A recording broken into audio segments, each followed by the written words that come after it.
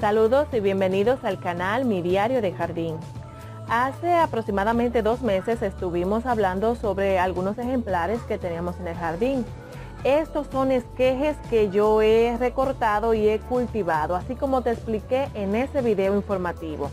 Esquejes de 6 centímetros de alto.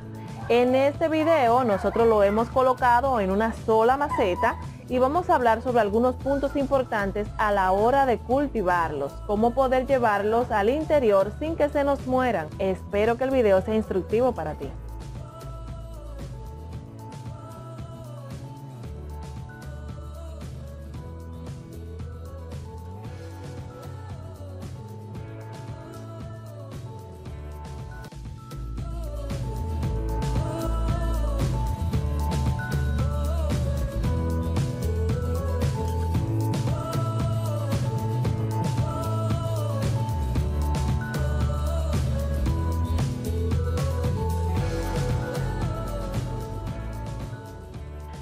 Te invito a ver la ficha informativa donde colocamos algunos de los cuidados sobre este ejemplar. Son hermosísimos. Puedes colocarlo en la terraza o balcón o en un área donde esté eh, semi iluminada y donde puedas obtener del mismo la frescura del ambiente. Es importante que recalque para iniciarte en lo que vamos a estar hablando ahora que el sustrato que ella prefiere es uno orgánico. Por esto yo te voy a mostrar el tipo de sustrato en el que he colocado nuestro cóleo y he podido sacar ejemplares hermosísimos. Bueno, te muestro que entonces ya tengo ya el sustrato mezclado. Tiene 40% de materia orgánica, la que se compone de mantillo, eh, la tierra orgánica y también tiene algo de lo que le agregamos sobre el acerrín natural. Algo que quería decirles sobre el acerrín natural es que este no está tratado de manera eh, química, o sea, no tiene ningún tipo de líquidos. También le echamos la pajilla de arroz y las gravillas. Esto es para que tenga aireación el sustrato.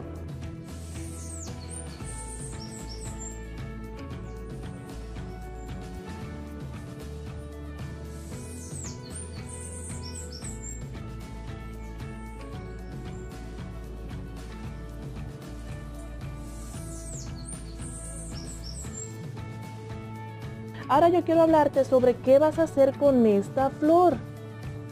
Para muchos les es insignificante. Yo pudiera decirte que para poder distinguir su floración tendría que acercar la cámara.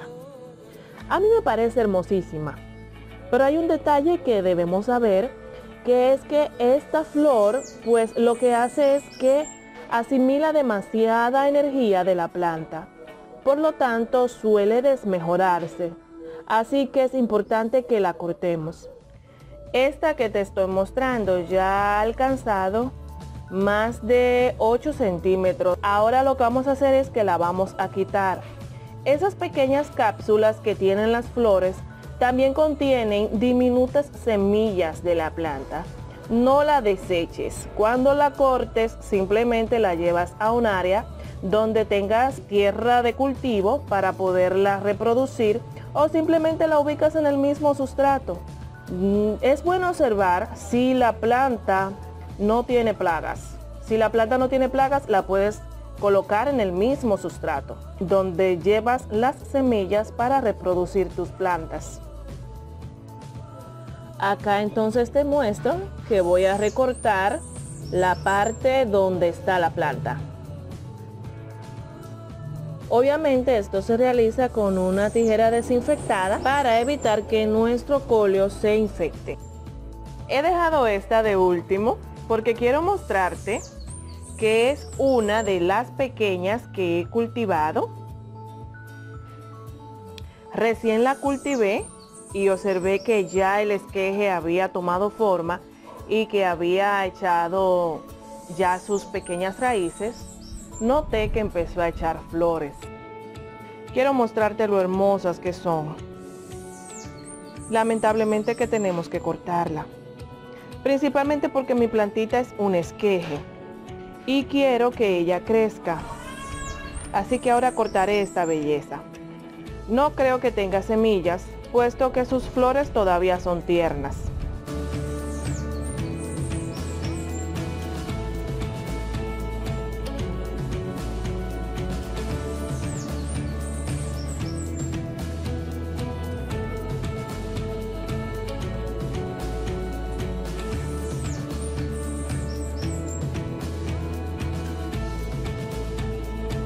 Los cóleos son plantas semitropicales. Esto quiere dejar dicho que aunque la llevemos a interior, ella va a necesitar por lo menos la luz parcial. Esto es, como te había mostrado, para mantener el color en sus hojas y mantener la resistencia contra las plagas. En vista de que el ambiente en interior, por más que nosotros le cuidemos, no es el mismo que el aire fresco, la luz del sol intermedio, eh, no va a sobrevivir porque las plantas están destinadas para tener cierta cantidad de sol y esto se lo suministra el ambiente en exterior. Pero sí utilizando el método de rotación, nosotros podemos cultivarla y tenerla en casa. Esto significa que la vas a sacar cada dos meses y la vas a dejar en el jardín por 15 o 20 días. Luego podrás introducirla en tu casa nuevamente. Un punto importantísimo con los colios es que debemos podarlos. Primero porque va a tener esa forma desgarbada y segundo porque esto le facilita a ella el no permitir que las plagas empiecen a hacer casa debajo de sus hojas. Yo te voy a mostrar el problema que estoy enfrentando con mis colios y cómo lo voy a solucionar.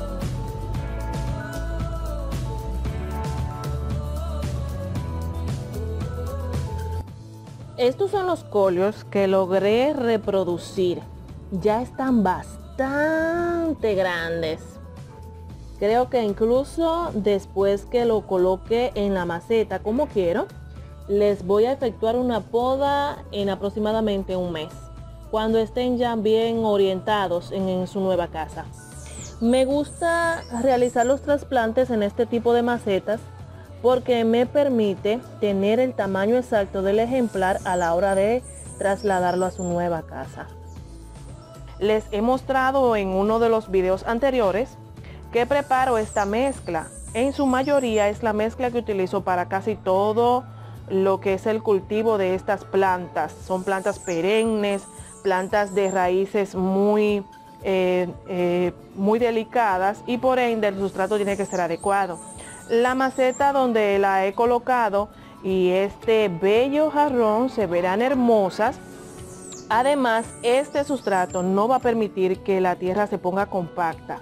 Si puedes ver, es sumamente flexible. Tiene una cantidad igualada de gravilla y de lo que es acerrín con gallinaza. el 40% se lo otorga la tierra y la materia orgánica, nuestra compost.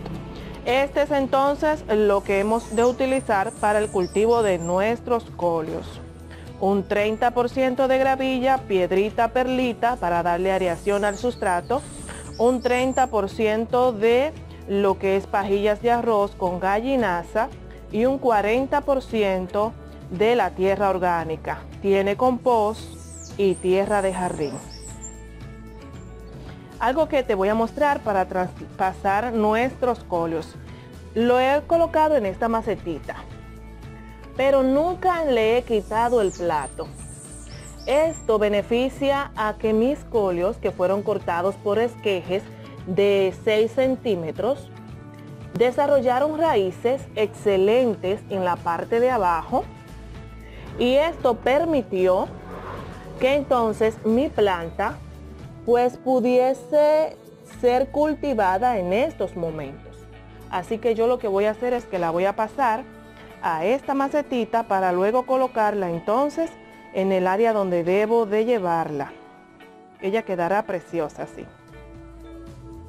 La época de siembra es desde invierno hasta principio de primavera. Y aprovechamos la poda y que nuestros esquejes ya eh, tienen bastantes raíces para ser colocados en esta nueva maceta.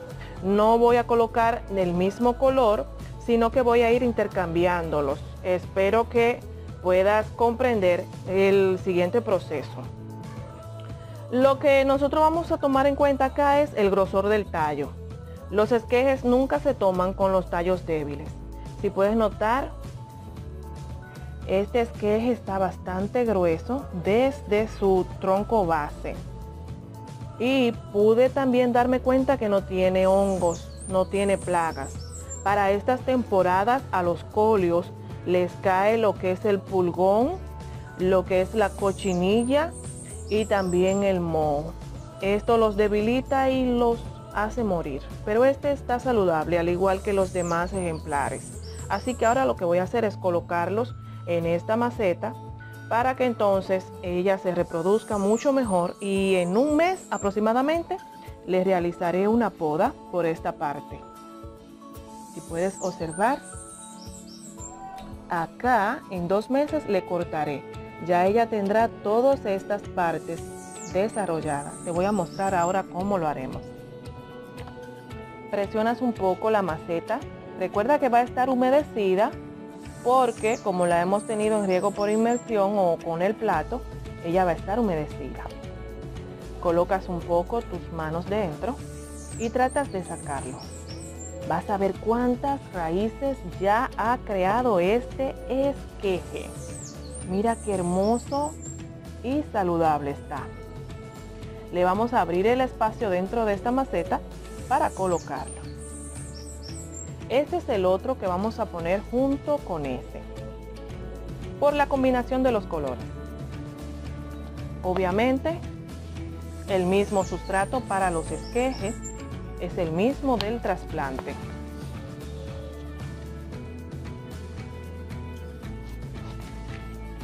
Mira cómo están sus raíces. Me encanta la manera en la que se desarrollaron en estas macetas. Yo voy a seguir haciendo esta operación y voy a colocar todos mis colios acá y luego te voy a mostrar entonces cómo quedó todo.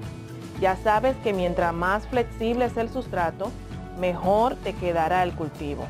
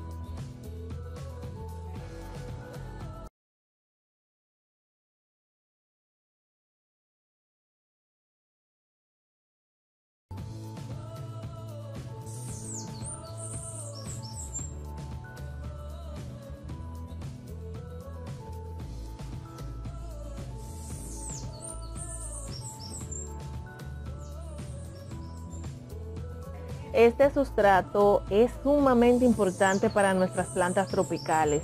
Lo utilizo en su gran mayoría, excepto para las suculentas porque estas requieren que tenga un poco menos de tierra orgánica y de tierra de jardín, más de gravilla, perlita, esos elementos que contienen bastante aireación y en su mayoría también arena gruesa. Pero este sustrato que hemos elaborado para nuestros colios lo único que necesita que tú le mantengas es cada dos meses una capa superficial de humus o tierra orgánica. Esto hará que ellos vuelvan a alimentarse, que vuelvan a engrosar sus tallos, les realizas la poda y están listos para embellecer tu jardín. Espero que este video informativo te haya gustado y que puedas ver lo fácil que es cultivarlo, principalmente colocándole el plato a la macetita debajo. Gracias por compartir los videos. Que Dios te bendiga y te guarde.